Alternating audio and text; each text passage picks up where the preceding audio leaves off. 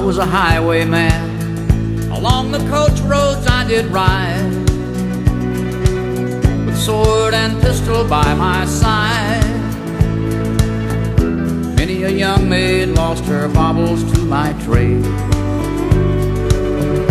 Many a soldier shed his lifeblood on my blade.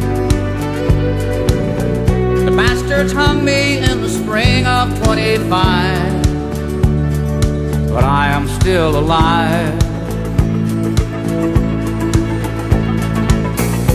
I was a sailor, I was born upon the tide.